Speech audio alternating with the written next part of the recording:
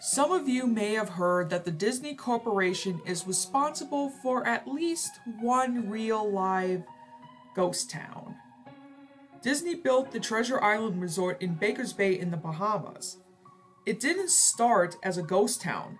Disney's cruise ships would actually stop at the resort and leave tourists there to relax in luxury. This is a fact. Look it up. Disney blew 30 million on the place. Yes, 30 million dollars. Then they abandoned it. Disney blamed the shallow waters too shallow for their ships to safely operate, and there was even blame cast on the workers saying that since they were from the Bahamas, they were too lazy to work a regular schedule. That's where the fractal nature of their story ends. It wasn't because of sand, and it obviously wasn't because foreigners are lazy. Both are confident excuses. No, I sincerely doubt these reasons were legitimate. Why don't I buy the official story? Because of Mowgli's Palace. Near the beachside city of Emerald Isle in North Carolina, Disney began construction of Mowgli's Palace in the late 1990s. The concept was a jungle-themed resort with a large, you guessed it, palace in the center of the whole thing. If you're unfamiliar with the character of Mowgli, then you might better remember the story The Jungle Book. If you haven't seen it anywhere else, you'd know it as the Disney cartoon from decades past. Mowgli is an abandoned child in the jungle, essentially raised by animals and simultaneously threatened slash pursued by other animals.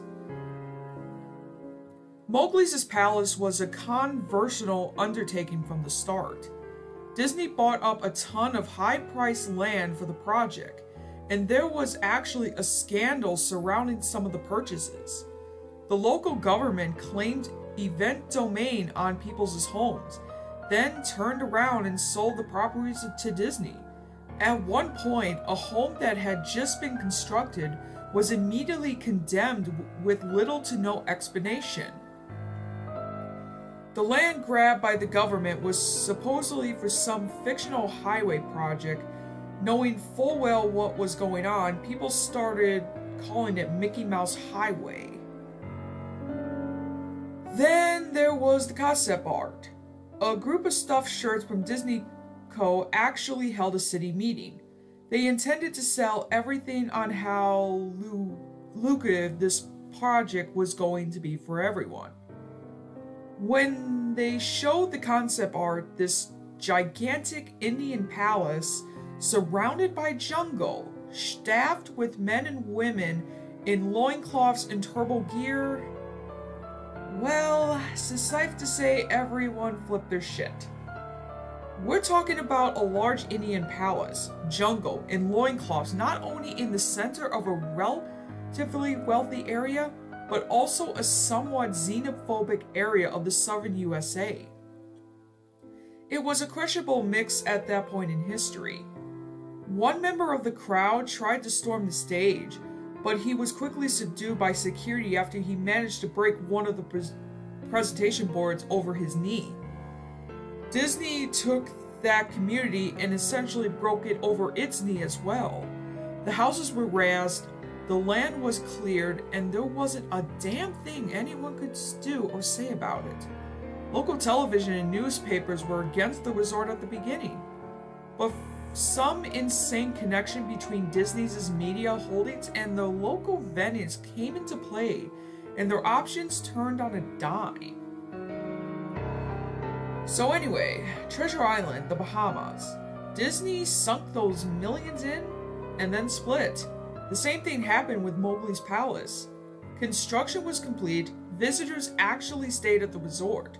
The surrounding communities were flooded with traffic and the usual annoyances associated with an influx of lost and irate tourists. Then it all just stopped. Disney shut it down and nobody knew what the hell to think, but they were pretty happy about it. Disney's loss was completely hilarious and wonderful to a large group of folks who didn't want this in the first place. I honestly didn't give the place another thought since hearing it close over a decade ago. I live maybe four hours from the Emerald Isle, so I really, really I only heard the rumblings and didn't experience any of it firsthand.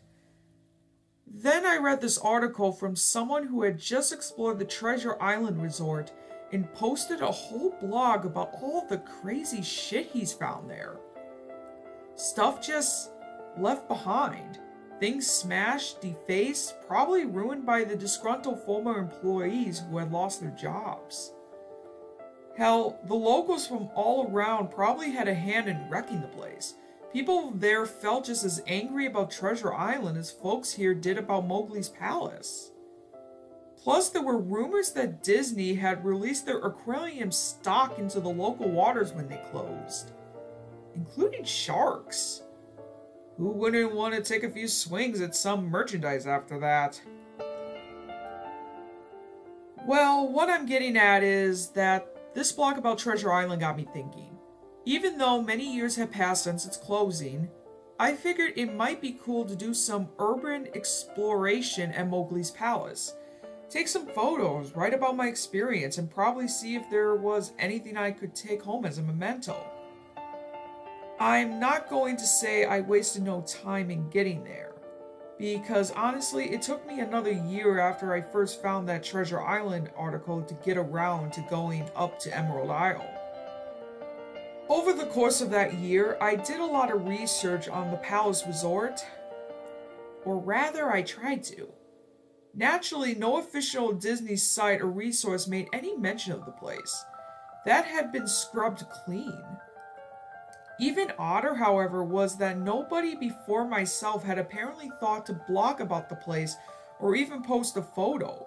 None of the local TV or newspaper sites had one word about the place, though that was to be expected since they had all swung Disney's way. They wouldn't be out there eluding their embarrassment, you know. Recently, I learned that corporations can actually ask Google, for example, to remove links from search results, basically for no good reason. Looking back, it's probably not that nobody spoke of the resort, but rather the words were made inaccessible. So in the end, I could barely find the place. All I had to go on was an old as hell map I received in the mail back in the 90s. It was a promotional item sent out to people who had recently been to Disney World. And I guess since I had been there in the late 80s, that was recent, I didn't really intend to hang on to it. It just got shoved in with my books and comments from my childhood. I'd only remembered it months into my research. And even then, it took me another few weeks to locate the storage bin my parents had shoved in all into. But I did find it. Locals were no help, as most were transplants who had moved to the beach in recent years, or old residents who just sneered at me and made rude gestures the second I managed to say, Hello, where can I find Mowgli's? The drive took me through an inordinary long corridor of overgrowth. Tropical plants that had run rampant and overpopulated the area mixed with the native species of flora that actually belonged there and had tried to reclaim the land. I was in awe when I reached the front gates of the resort. Tremendous monolithic wooden gates whose supports to either side looked like they must have been cut from giant cycads. The gate itself had been gorged in several places by woodpeckers and eaten away at the base by burrowing insects. Hanging on the gate was a sheet of metal, some random scrap, with hand-printed letters scrawled in black. Abandoned by Disney. Really? Clearly the handiwork of some past local or an employee who wanted to make some small protest. The gates were open enough to walk through, but not drive. So grabbing my digital camera and the map, whose flip side showed a layout of the resort, I set off on foot. The inner grounds of the place were just as overgrown as the entryway. Palm trees stood unattended and ragged among piles of their own coconuts. Banana plants similarly stood in their own stinking, bug-ridden refuse. There was this sort of clash between order and chaos, as carefully planted rows of perennial flowers mixed with obnoxious tall weeds and stinking blackened mushrooms. All that remained of any outdoor structures were broken, rotting wood and various charred bits of unidentifiable material. What was most likely an information booth or any outdoor bar was now simply a pile of assorted debris chopped up by past vandalism and ravaged by weather. The most interesting thing on the grounds was a statue of Baloo, the friendly bear from the Jungle Book, which stood in a sort of courtyard in front of the main building. He was frozen in a jovial wave towards no one, staring in, into empty space with a silly, toothy grin as bird shit covered whole swaths of his fur and vines ensnared his platform. I approached the main building, the palace, only to find the outside of the building covered in graffiti where the original paint hadn't peeled and chopped away. The front doors weren't just opened, they had been taken off their hinges and were stolen. Above the front doors, or the gappy mall where they had been, someone had once again painted Abandoned by Disney. I wish I could tell you about the awesome stuff I saw inside the palace. Forgotten statues, abandoned cash registers, a full-fledged secret society of homeless bombs. But no. The inside of the building was so sharp, so bare, that I actually think people had stolen the mauldron off the walls. Anything that was too big to steal, counters, desks, giant fake trees, they were all resting amid this empty echo chamber that amplified my every step like a slow rat-a-tat of a machine gun. I checked the floor plan and headed to all of the locations that might seem in any way interesting. The kitchen was as you imagine, an indestructible food prep area with all the appliances in space, no expenses spared.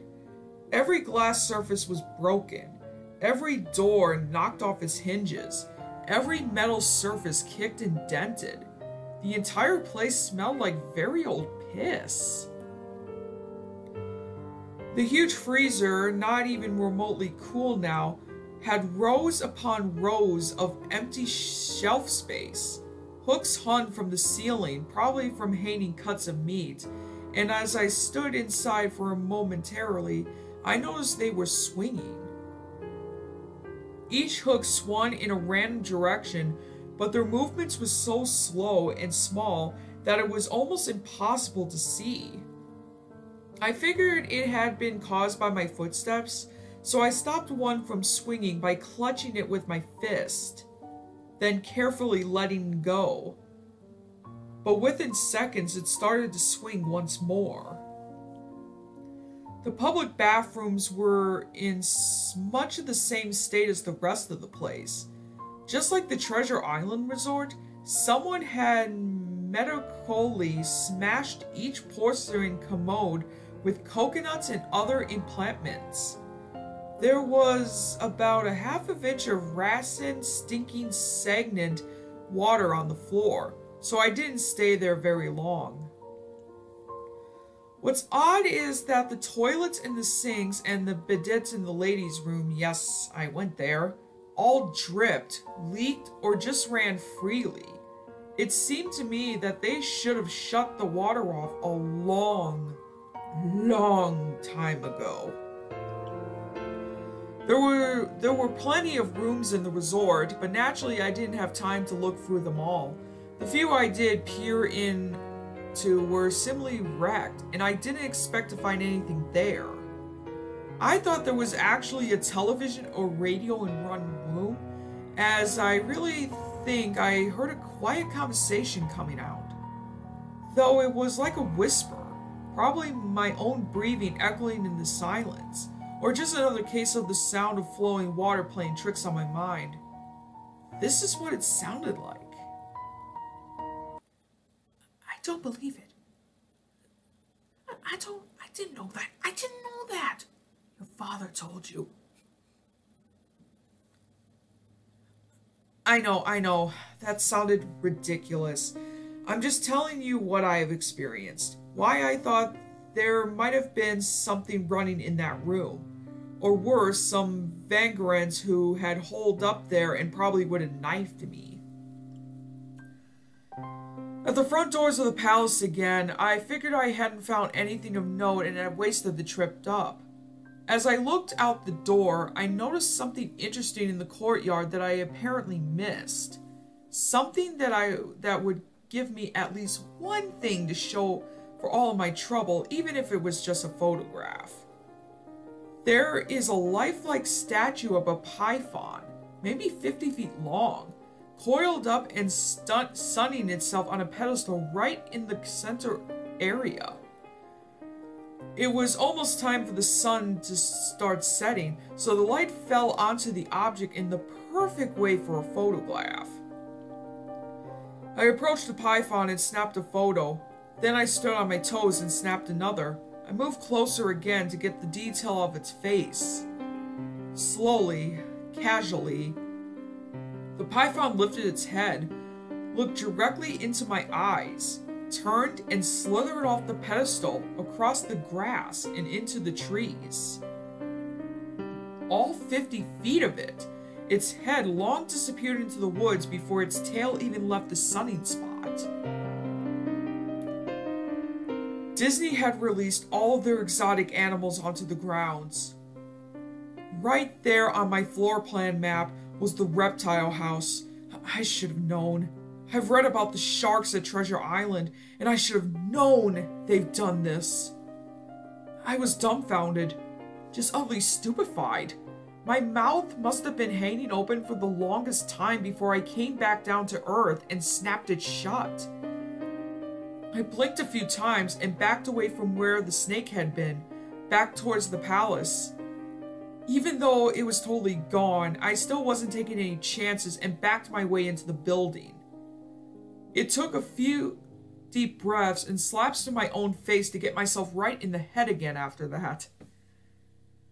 I looked for a place to sit down, as my legs were feeling a bit like jelly at this point. Of course, there was no place to sit down unless I wanted to recline in the broken glass and dead leaf carpet or haul myself up onto a desk of questionable readability. I had seen some stairs near the palace's lobby and decided to go have a seat there until I felt better. The staircase was far enough away from the front of the building to be relatively clean, save for a startling accumulation of dust. I pulled a wedge of metal off the wall, once again painted with the Abandoned by Disney model I've been accustomed to. I placed the wedge onto the stairs and sat on it to keep at least somewhat clean. The stairway led downward, below ground level, using my camera flash as a sort of improvised flashlight.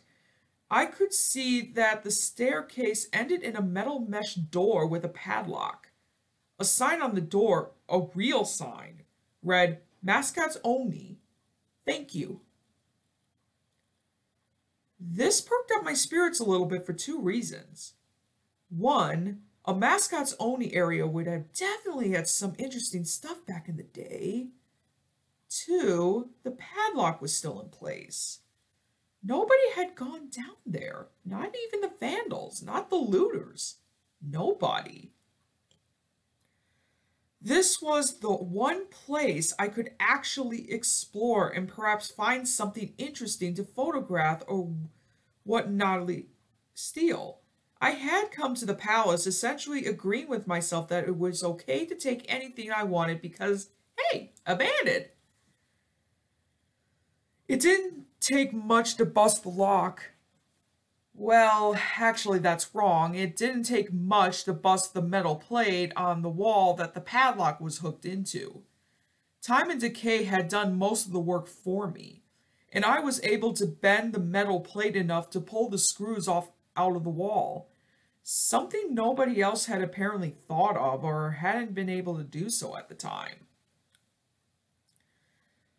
The mascot's only area was a startling and a very welcome change from the rest of the building I'd seen. For one, every second or third fluorescent light overhead was illuminated, even though they flickered and faded randomly.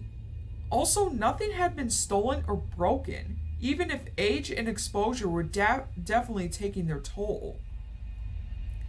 Tables had notepads and pens.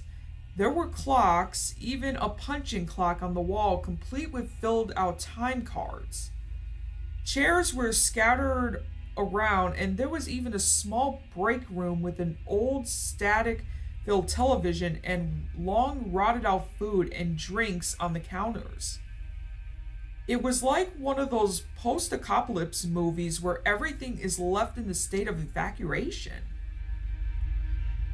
As I walked the, the maze like sub basement hallways of the mascot's Oni area, the sights just became more and more interesting.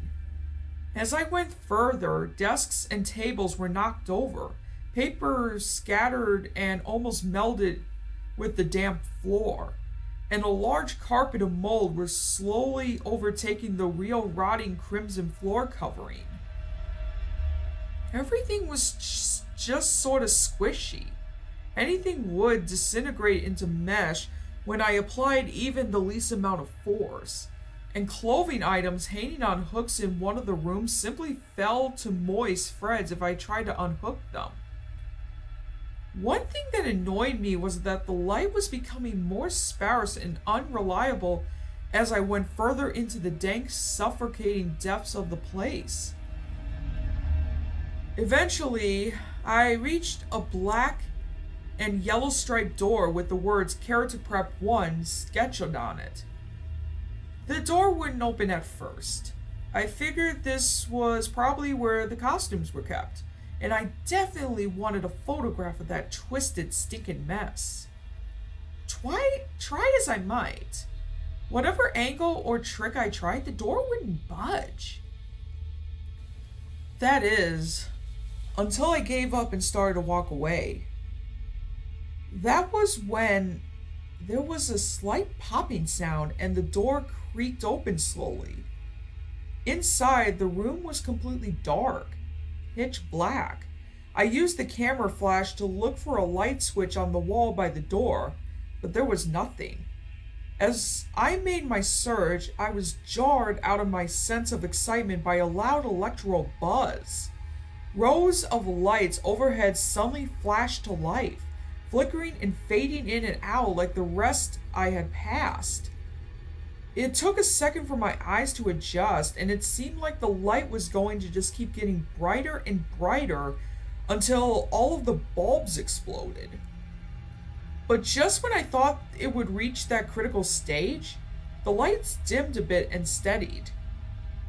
The room was exactly as I had pictured it. Various Disney costumes hung on the walls, fully put together like strange cartoon cadavers hung from invisible nooses. There was an entire rack of loincloths and native clothes on hangers towards the back. What I found odd and I wanted a photograph right away was a Mickey Mouse costume at the center of the room. Unlike the other costumes, it was lying on its back in the center of the floor like a murder victim. The fur on the costume was rotted and shredding, creating bare patches. What was even more odd, however, was the coloring of the costume. It was like a photo negative of the actual Mickey Mouse. Black where he should be white and white where he should be black. His normally red pants were light blue. The sight was off putting enough that I actually postponed photographing the thing until last. I took a picture of the costumes hanging on the walls, upward angles, downward angles, side shots, to show an entire row of frozen putrid cartoon faces, some with plastic eyes missing. Then I decided to stage a shot. Just one of the bit bed-ragged character heads on the slick grimy floor. I had reached for the headpiece of a Donald Duck costume and carefully removed it so the thing wouldn't fall apart in my hands. As I looked into the face of the wide-eyed, moldering head, a loud clattering sound made me jump with fright. I looked down at my feet. And there, between my shoes, was a human skull. It had fallen out of the mascot head and shattered into pieces at my feet. Only the empty face in the lower jaw remained, staring up at me. I dropped the duck head immediately, as you expect, and moved for the door. As I stood in the doorway, I looked back to the skull on the floor. I had to take a picture of it, you know, I had to. For any number of reasons that may seem silly, but if only if you don't think it through. I need proof of what happened, especially if Disney was going to somehow make this go away. I had no doubt in my mind, right from the start, that even if it was just gross negligence, Disney was responsible for this. This was why the resort had closed, and I was the only one outside a Disney company who knew. Me? That's when Mickey, that photo negative opposite Mickey in the middle of the floor, started to get up. First sitting up, then climbing to its feet the Mickey Mouse costume, or whoever was inside of it, stood there at the center of the room, its fake face just staring directly at me as I mumbled, no, no, no, no, over and over and over. With shaking hands, a violently thrashing heart, and legs that had once again turned to jelly, I managed to lift the camera and aimed it at the opposite creature now quietly sizing me up, head tilted. The digital camera's screen displayed only dead pixels in the shape of the thing. It was a perfect silhouette of the Mickey costume. As the camera moved in my unsteady hands, the dead pixels spread, marrying the screen whatever Mickey's outline moved to. Then the camera died, went blank and quiet and broken. I raised my eyes once again to the Mickey Mouse costume. Hey, it said in a hushed, perverted, but perfectly executed Mickey Mouse voice. Want to see my head come off? It, started to pull at its own head, working its clumsily glove-fed fingers around its neck with clawing, impatient movements similar to a wounded man trying to pull himself free of a predator's jaws. As it worked its digits into its neck, so much blood, so much thick, curdled, yellow blood. I turned away as I heard the sickling tearing of cloth and flesh, only caring about getting away Above the doorway out of this room, I saw the final message clawed into the metal with bone or fingernails. Abandoned by God. I never got the pictures of the camera. I never wrote the blog entry about it. After I ran from that place, I fled for my sanity, if not my very life. I knew why Disney didn't want anyone to know about this place. They didn't want anyone like me getting in. They didn't want anything like that. getting out.